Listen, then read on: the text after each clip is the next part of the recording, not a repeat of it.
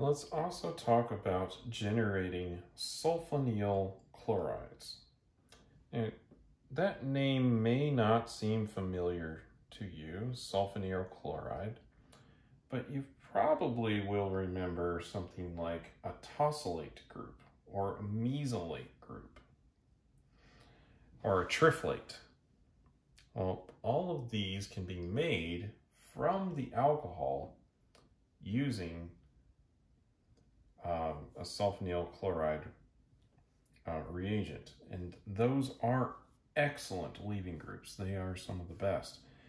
And you'll recall, if you look back quite a while ago, to um, when we were talking about SN1, SN2, E1, E2 reactions, that these leaving groups did come up, like the, and they're abbreviated MS, TF, and TS, right? But the general structure of the sulfonyl chloride, and I, I guess I drew this a little close to there, so maybe I'll draw it right down here. There's the chloride, and then sulfonyl part, and then we have an R group over here. Now, if we do this reaction, and we'll also need some pyridine or some base,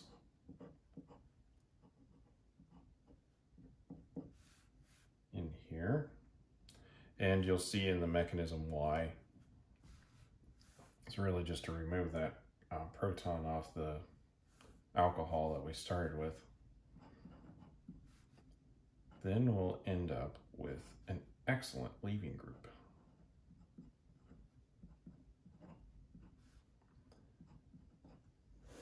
Like so. Now remember these R groups can be uh, different things. So if it's a methyl group,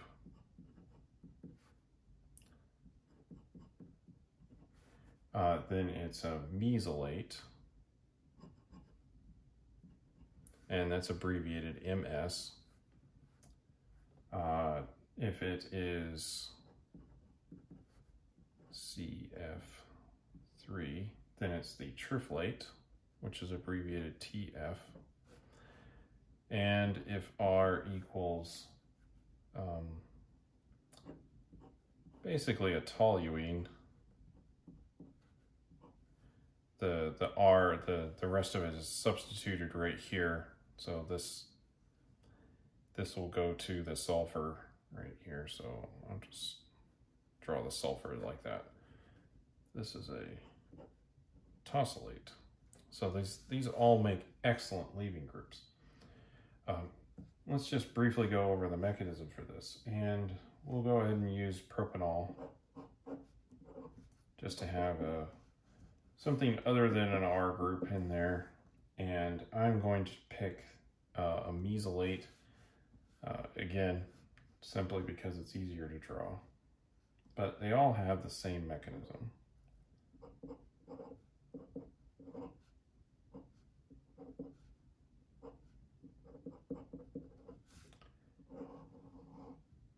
So that oxygen comes in and attacks the sulfur.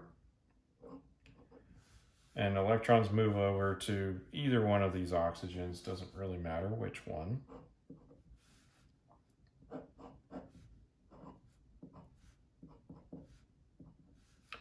I have a plus charge here because we do still have that proton on the alcohol, which is where our nitrogen base is going to come in.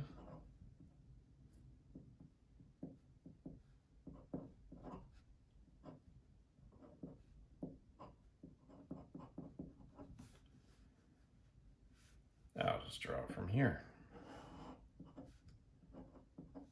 Does that. And then we'll have the deprotonated version.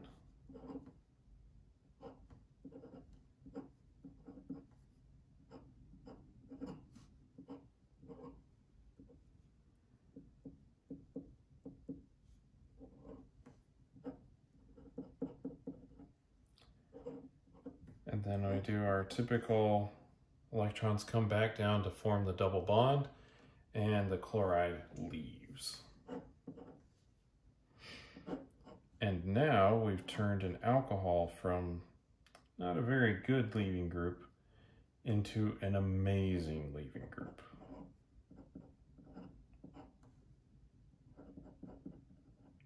And again, we can choose either one of these right here. Now, you might say, well, we have other leaving groups. We have uh, bromides. We have other things like that. And yes, that's that's actually important to bring up right now. Um, we have converted alcohols into better leaving groups by protonating them, by doing other things like that. Sometimes that's not possible. So in other ways that we can do things is uh, to convert these into the bromide using PBr3. Now, if we do so, recall that that is an SN2 reaction. So the configuration around this carbon will be inverted when we use PBr3, right? SN2 reaction flips the chirality. So if it was an S, it's now an R configuration. Well, what if we didn't want to flip the chirality? Well, it just so happens if you if you're looking at this particular mechanism here that that carbon is not involved in the mechanism. Right? It's only really action happening around the oxygen here. And then there's some deprotonating again on the oxygen. This oxygen leaves, that, that kind of thing. The configuration of that carbon has not changed. Now, in this particular case, it's not chiral, but there are carbons that would be. And so if it was, in fact, let's go ahead and, and do that if we then instead switch this to uh, 2-butane and just put some configuration on it, you'll notice that the configuration is retained. This is a nice feature because now we have the ability to convert alcohols into a better leaving group. And we can do it in one of two ways. We can do our PBr3 and that will invert the uh, configuration. And let's just recall that right now. So let's say we have this just like we have here. And we do PBr3. Then if you remember, it inverts the configuration. Sulfonyl chlorides retain the configuration. So now we have a choice as to which way we would like the molecule to go. Retention of configuration or inversion. And that can be quite helpful if we're trying to aim at a particular um, chirality. So that is another utility of sulfonyl chlorides. Not just that they make an excellent leaving group, they also retain configuration around the carbon that you're substituting it on.